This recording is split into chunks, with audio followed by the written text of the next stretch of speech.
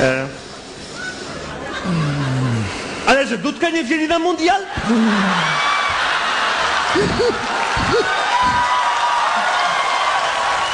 Zatem, drodzy Państwo, rozpoczynamy.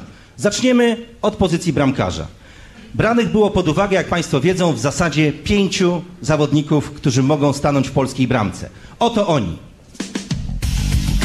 Jerzy Dudek, Wojciech Kowalewski, Artur Boruc, Tomasz Kuszczak i Łukasz Fabiański. Drogi trenerze, proszę bardzo. Artur Boruc, Tomasz Kuszczak, Łukasz Fabiański. Naprawdę? No tak powiedziałem. Paweł, niesamowity wybór, naprawdę. Dlaczego tak? Powiesz dwa słowa, czy zostawisz to kolegom z Nie, to, Polsatu? to biorę na siebie odpowiedzialność i taką podjąłem decyzję. Szanowni Państwo, to pierwszy bardzo zaskakujący wybór Pawła Janasa. Artur Boruc, Tomasz Kuszczak, Łukasz Fabiański pojadą do Niemiec.